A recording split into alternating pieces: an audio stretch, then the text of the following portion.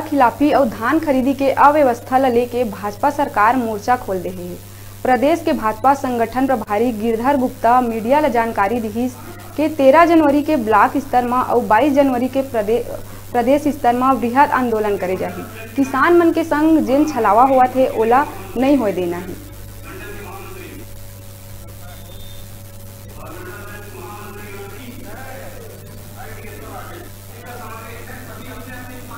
के साथ खड़ी है। जितने किसानों ने धान बेचने के लिए पंजीयन कराया है, उस हिसाब से एक करोड़ चार लाख कुंटल धान सरकार को खरीदना चाहिए जितना पंजीयन हो उस हिसाब से, परंतु सरकार की तैयारी नहीं है।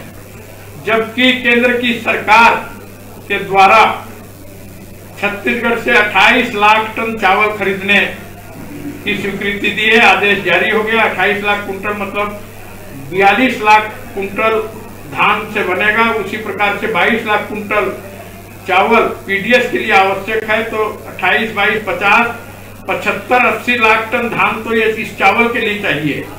परंतु प्रदेश अब रुका था एक ब्रेक। लेहे बार आप मन देखत रहो। आप मन के अपन चैनल न्यूज़ 36 लाइव छत्तीसगढ़ की आवाज़।